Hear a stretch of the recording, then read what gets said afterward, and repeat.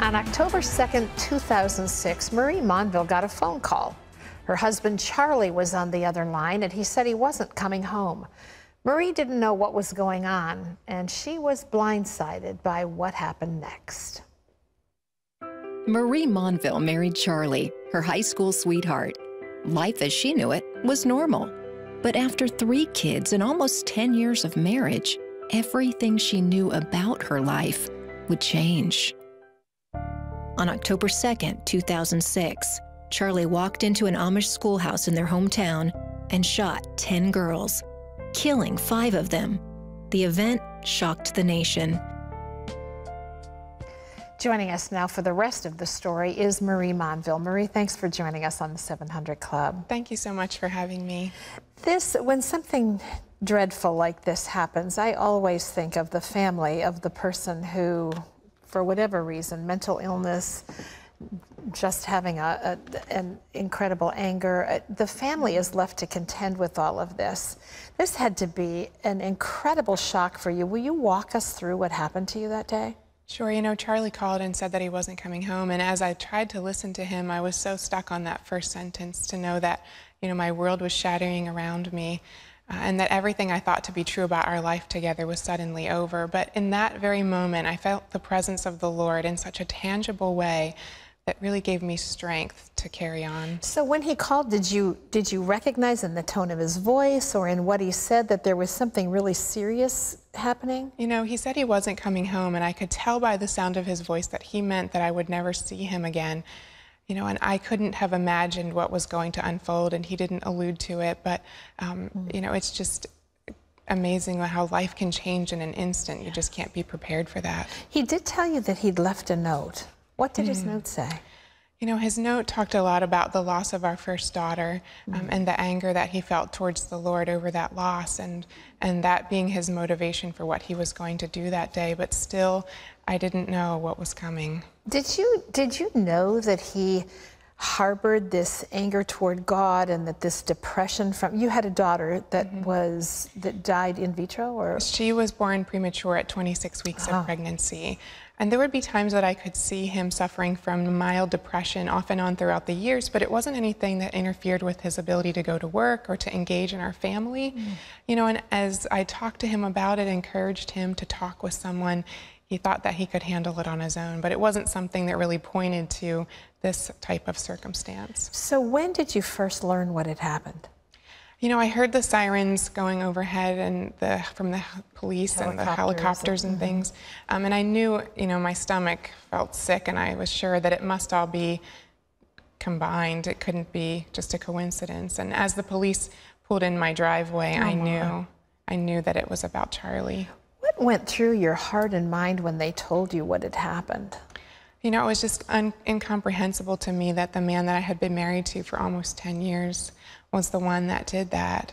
Um, you know, everything about who he was was completely different than the man that walked into that schoolhouse. Mm -hmm. um, but I felt the Lord and I felt him coming in strength and compassion and wrapping his arms around me in a way that was deeper than anything I had ever known before. And it really carried me through. How did you protect your children during this time? Because this is an awful thing for your family to endure as well as those who lost their children. You know, and that was really just um, sought out through the Lord and as counselors led us that day, knowing that my kids needed to know the truth before they went back to school, but that it was very, I had to be intentional about the way that I shared the details with them. Yeah. Even within hours after this shooting took place, the Amish community mm -hmm. did something really unbelievable. Absolutely. I was in my parents' home and looking out their kitchen window, I saw some Amish men coming down the street. And I knew they were coming to my parents' house. And what I said, What did you think then? Well, I, I couldn't figure out what to do. And I went to my mom and dad and said, What do I do? My dad said that he would go out and talk with them. Um, and so I saw the exchange on the driveway. I couldn't hear them, but I saw them put their hand on his shoulder and wrap their arms around him. And, and as he came inside, he told us that they had forgiven Charlie and they were extending grace and compassion over our family. Wow. Mm -hmm. I know that you struggled with questions anybody would have sure. after this. Should I have seen something sooner? Was there something I could have done? How right. did how did you work through all of that, Marie? You know, just by laying that at the Lord's feet, knowing that there really wasn't anything that I could have done differently. Um, there weren't any signs. You know, I talked about that a lot with counselors and with our family and friends. Um, but just bringing it back to the Lord continually and being willing to lay it there, knowing that He wanted to take it from me over and over again. You say that you found hope in this tragedy. In what way? You know, in so many ways, just as God has brought redemption over our family, that it doesn't matter how dark the day is or how deep the valley is, it's not the end of our lives and it's not the end of the story that God is writing for us, and that there's beauty and hope beyond these desperate moments. Um, you know, and I've seen God unveil that in my life, um, both through my marriage to my husband Dan now, and also over our family. Yeah.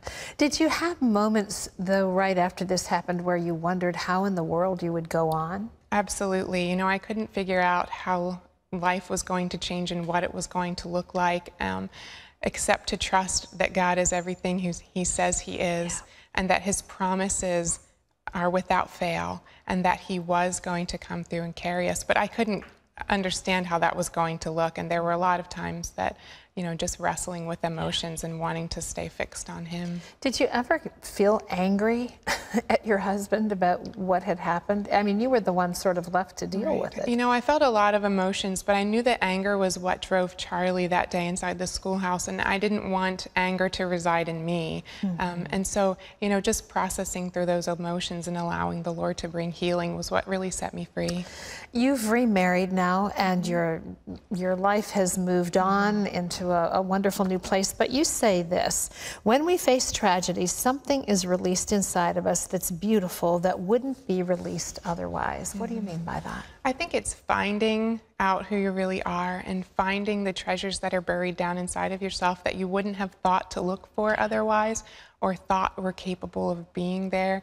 You know, I've discovered so much about myself that I wouldn't have ever known mm-hmm. apart from this journey with the Lord. And maybe finding out more about who God really is. Absolutely, that too. As yes. well. Yes. You've written a book called One Light Still Shines. What do you want people to take away from this when they read it? You know, I think pain is universal. We all have places of pain in our lives. And, and for the people that read the book, I want them to know that it doesn't matter how much pain you're going through, there is beauty and there's life on the other side. God will never leave you. Yeah. He's always with you. Never give up. Well, we thank you for telling your story thank today, so for sharing it with us. And I want you to know if you'd like to hear more, you can get Marie's book. It's called One Light Still Shines. It's available in stores nationwide. It's great to have you with us Thank today. you so much.